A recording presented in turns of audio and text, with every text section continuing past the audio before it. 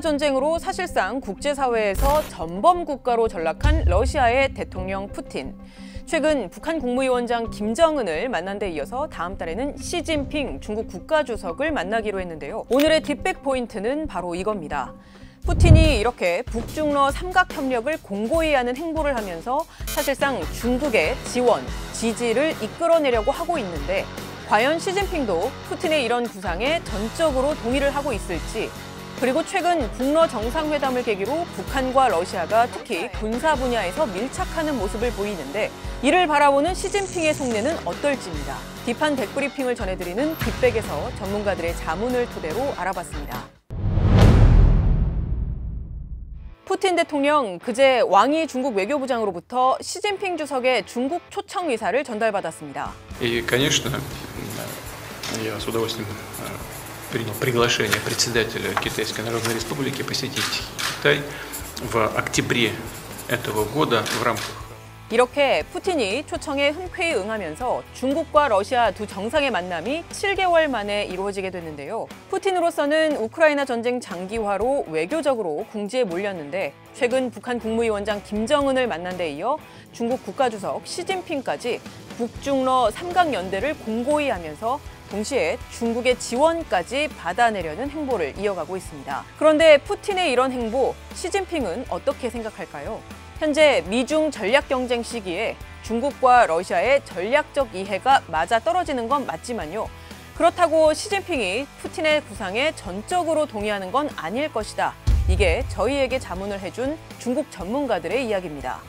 사실 중국과 러시아를 하나의 사회주의 동맹 그리고 권위주의 체제의 동맹으로 이해하는 경향이 많은데요. 러시아가 우크라이나 침공 이후 국제사회에서 전범 국가로 전락한 상황에서 중국은 굳이 그런 러시아와 동급으로 취급당하길 원치 않는다는 겁니다. 뭐 일종의 침략국이고 하나는 국제사회의 규칙을 깨면서 핵을 계속 개발하고 핵을 보유하고 있는 국가인데 이 두 나라가 군사적 협력을 하는데 중국이 같이 끼기는 싫은 거예요.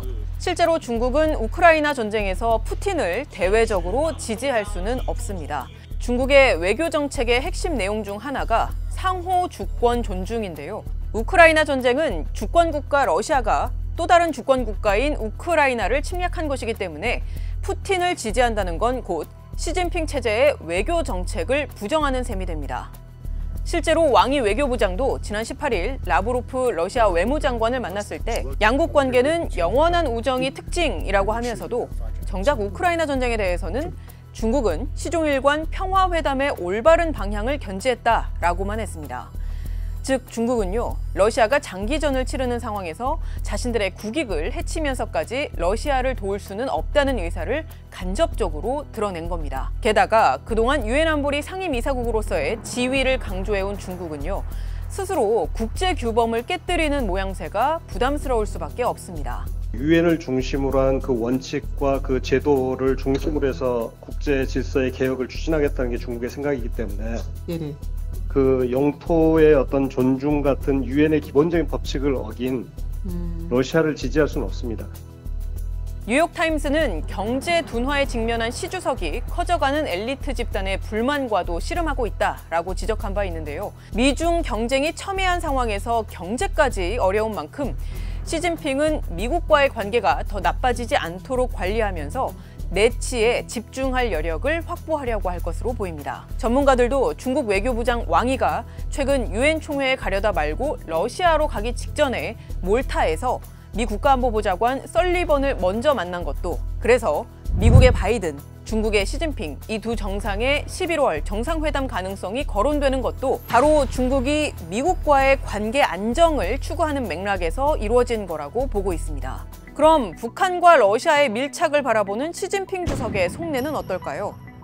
전문가들은 중국이 러시아와 북한 모두 중국의 도움을 필요로 한다는 걸 잘 알고 있을 것이라고 말합니다. 즉, 북러의 밀착 그 자체는 중국의 눈에 우리한테 지원 좀 해줘 라는 요청의 메시지로 읽힐 수 있다는 겁니다. 군사 부분에서 일시적으로 가까울 수 있겠지만 정말 북한 체제가 살아남기 위한 경제적인 부분 뭐 이런 부분은 중국이 없이는 사실은 이제 해결 불가능하거든요.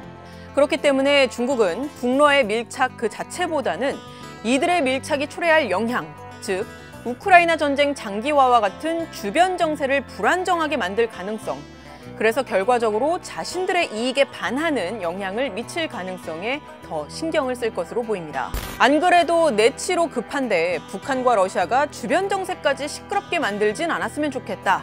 이게 전문가들이 예상하는 시진핑 주석의 속내입니다.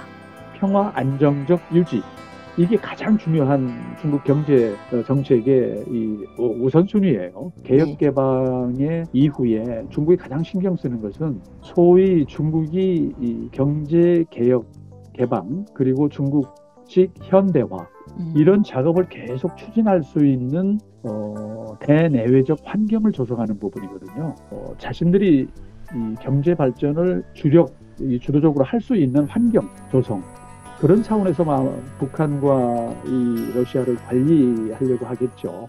중국은 북한, 러시아와 경제 협력을 더 확대할 수는 있지만 군사 협력을 실질적으로 강화하는 데는 부담을 느낄 수 있다는 분석도 나옵니다. 군사적 협력의 네 개의 핵심은 북핵을 그 돕는 형태가 그렇죠. 되잖아요. 그거를 중국이 지금 해서 과연 얻을 게 있을까? 한미 동맹이 강화되고 한미일 삼각 협력이 강화되는 건 불보듯 뻔하잖아요. 그러면 미국의 직접적인 아, 타겟이 되는 거죠.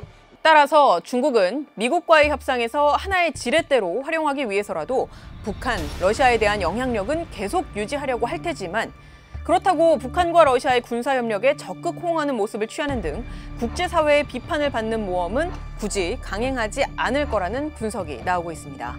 지금까지 뒷백이었습니다.